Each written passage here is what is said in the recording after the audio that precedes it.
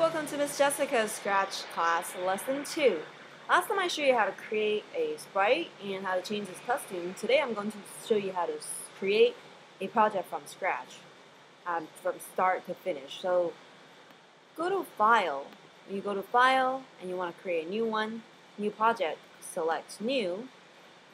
Now, every time you create a new project, you'll always see this cat. It's called Scratch Cat on the stage. This area is called the stage, and the sprite is always, so the first sprite is always called sprite 1 by default. So what you want to do today is to, I wanted to show you how to turn your picture into a sprite costumes. Let's do that. So I'm going to remove this default sprite, right click, and just select delete. Next, click the paint new sprite button you do that. And even though we're going to take a pictures of ourselves, so we're, we're not going to draw or import any pictures here, but we still need to add something to the paint editor so when you click OK, it wouldn't complain. We added just a simple dot and click OK. We successfully created a sprite with a tiny dot as its costumes. When I talk about costume, it means the look and feel of this sprite. So the first costumes, which says costume 1, is just a tiny dot. So what we want is we wanted to take a picture of ourselves. You click camera, you, you click camera, you can see your own face, and then just click the camera button to take a picture. So look at the camera and click this and that's it.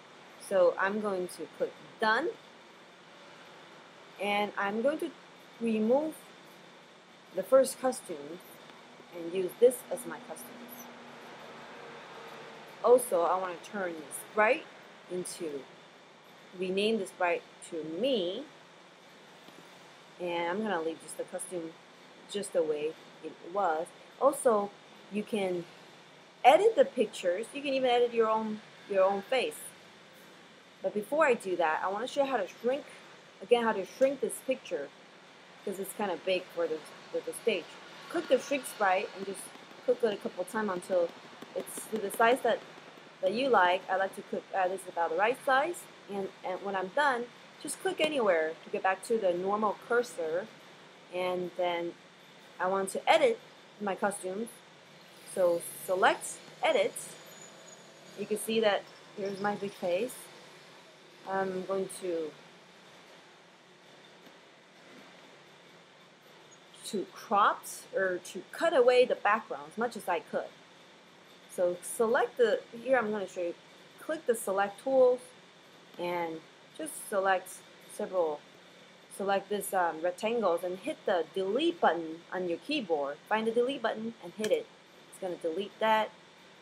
So I'm going to do, I'm going to repeat it a couple times.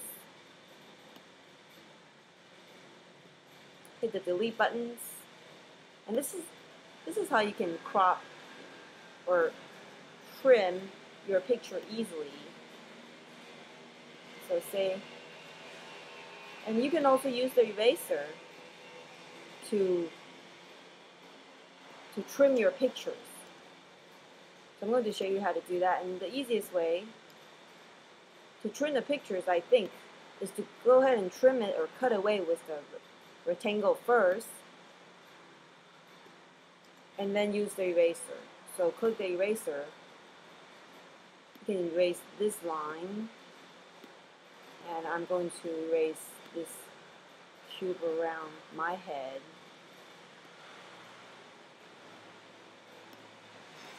Over here as well.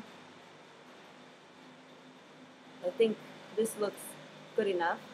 So I'm going to click OK. So there you go see this is me. And what you then after you're done you can drag yourself around. So this is you. I mean I'm sure you can come up with some crazy picture of yourself. Another cool stuff is that you can actually put let me see you can like, I can add some cool things in my face. So if I you can do import click import. And what I like to check out is the, the things folder and I believe there is a glass, oh, maybe a, a funky pink hair. can add air, hair, sorry. And you see how big, how tiny this hair is. But no worry, you can grow it just by clicking the hair until it fits my hair. That's good. And and then I'm going to actually cut away the bottom so it looks more natural. Again, use the select tool, select this section and hit delete. See, that's good. So I hit OK. Now this is my face. And also, what cool stuff you could do is that you could add sound to the sprite and we could try that now. Click the sounds tab and then you can import a sound or you can record your own sound. Let's try to record our own voice. Make sure you have a speaker connected to your computer when you do this. When you click record, click the record button. When you have a, a microphone connected and you're, it's scratch detected, then you will see when as you talking after it's it's doing this. So I'm gonna stop it and record again. Record, testing, testing, stop, and I click OK. After I do that, there's a recording shows here, and to hear it, just click the play button. Testing, testing. You, and also, so this is how you record your own sound clip. To import some really interesting sound clips, you click import, and there's a whole bunch of crazy um, sound effects. There's door creak, water pop, typing, and also there's um, I like music music loop. So there's drip drops, drum sets, and guitar chords. Also hip hop. You get the idea. So here I selected hip hop. You can try to play it. That's my Mac. Okay, try to click it. And you can stop it if it's too long. So we're almost done for today's lesson.